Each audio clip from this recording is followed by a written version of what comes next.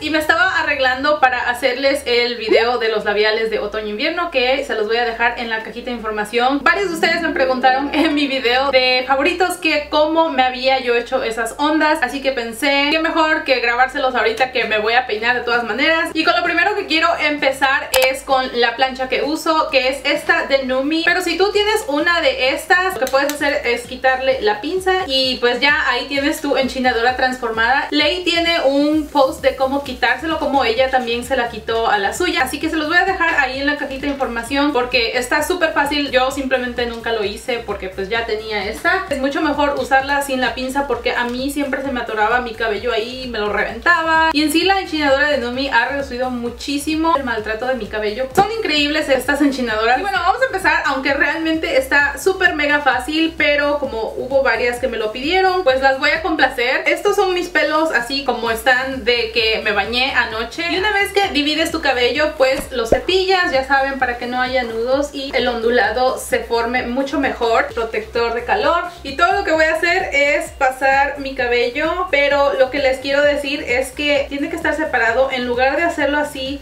el chino súper junto, háganlo súper separado. Si ven cómo queda el espacio, pero lo más importante es que dejen un pedazo grande así sin enrollarlo en el tubo. Y no sé si lo ven ahí que está así como que en forma de S. Parece que le faltó enchinamiento, pero créanme, así es como debe de quedar para que logre ese efecto así como de ondas de sirena. Asegúrate de que queden espacios entre el cabello, entre más grandes mejor. Y por supuesto la punta que no vas a enrollar, que ya les dije que entre más larga sea mejor. Y las hebras de cabello en sí las puedes agarrar tan grandes o tan chicas como las quieras. Yo las agarro medianas, solo las dejamos unos 10 segundos, lo soltamos, lo sostenemos en nuestra mano unos 3 o 4 segundos y lo dejamos. Yo no divido mi cabello ni lo separo de ninguna manera en especial, nada más así como vaya cayendo. Hazlo por toda tu cabeza y todo lo que tienes que hacer es deshacerlo con tus dedos. Si se te enchina el cabello mucho como a mí, trata de estirarlo porque entre más sueltas las ondas se ven mejor. Y para darle ese volumen extra lo que yo uso es este Blow Dry de L'Oreal Paris. Es un shampoo en seco que huele riquísimo y de verdad me fascina el volumen que da. Y así es como quedan nenas, me fui a cambiar porque de verdad me estaba muriendo de calor con mi sudadera. No te olvides de suscribirte y de dejar tu manita arriba si esta es la primera vez que ves mis videos. Así que espero que les haya gustado este tutorial, las quiero y les mando mil besos.